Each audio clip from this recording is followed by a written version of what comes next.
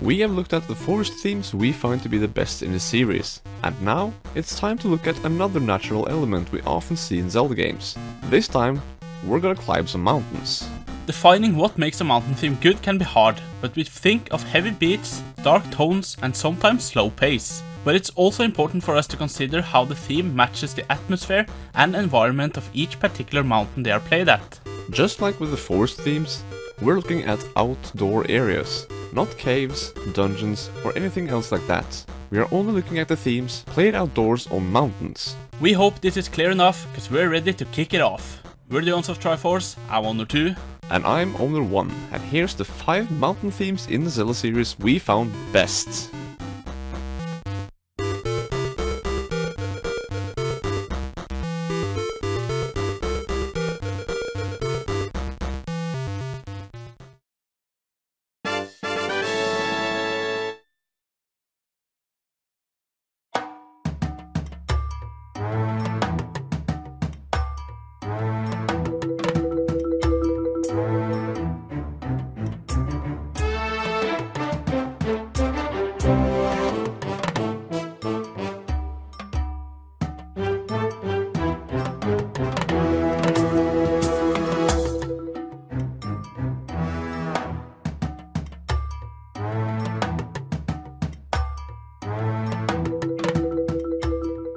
Mountain, volcano, sort of the same thing, isn't it?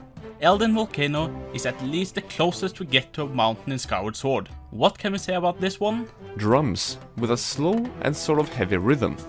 It does sort of have the things we look for in a mountain theme, but this is not necessarily where its strength lies. We feel this theme fits pretty well to this area in particular.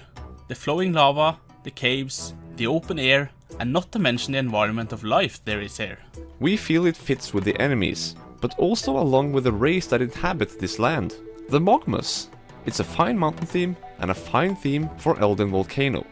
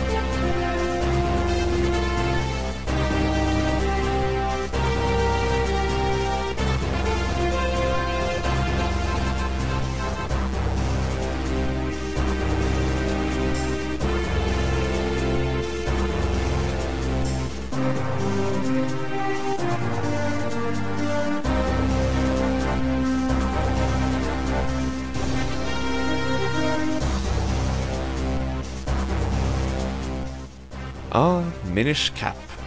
What an underrated soundtrack you have. This music feels heavy and mighty, which is very fitting for a mountain. This one's also pretty slow and fits well with the actual mountain. It even feels heroic as you climb upwards Mount Crenel, with some light and higher tones playing along. All in all, it's a very enjoyable piece of music and a good fit for a mountain.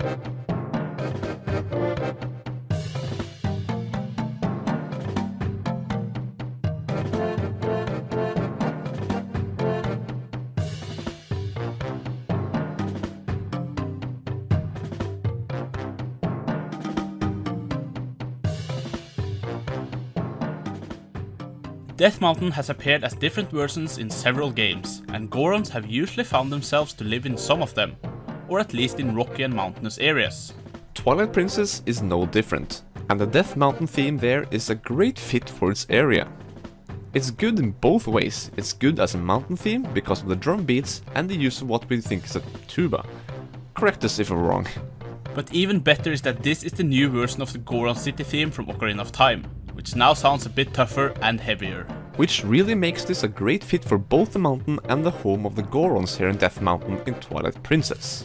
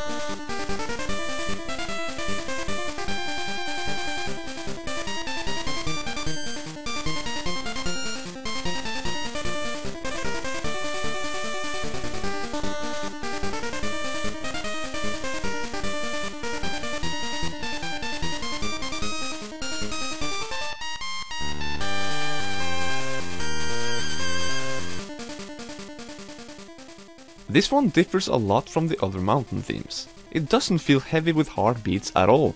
However, that works to the advantage of this place and the name of the theme. This isn't an area where you find yourself surrounded by mountain walls all around, but rather has you reaching high peaks of it, or should we say, the heights of the mountain.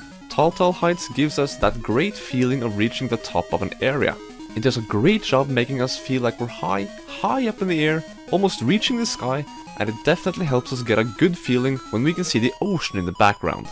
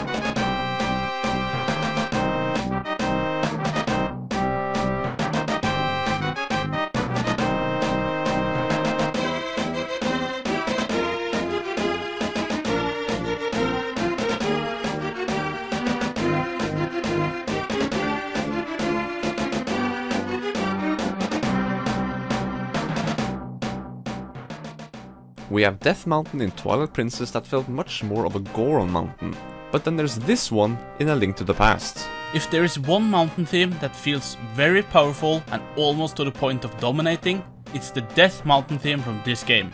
It shares its theme with the Skeleton Forest, but it's named after the mountain, and we definitely see the amazing fit there. We also like the little lighter part of it which sorta gives us the courage to keep moving on. This one fits so well with the Dark World version of the mountain because of all the darkness and evil surrounding it. In the game, the wind is blowing, hear thunder, and see the light of lightning. And to top it all off, there's Ganon's Tower, the home of the ultimate evil in the game, and this theme reflects the feeling of the presence of all evil. Which, by the way, A Link Between Worlds didn't have on its Death Mountain, in which our opinion finds the A Link to the Past version to be a fantastic match for Death Mountain.